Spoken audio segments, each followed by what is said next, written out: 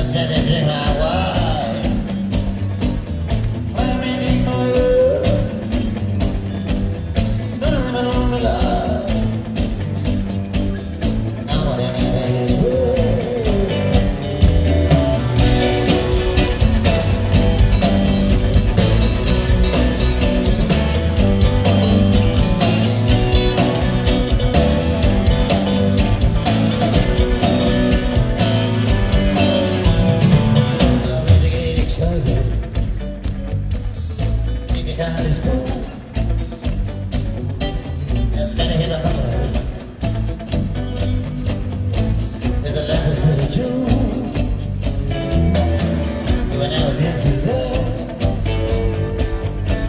this is not a pain.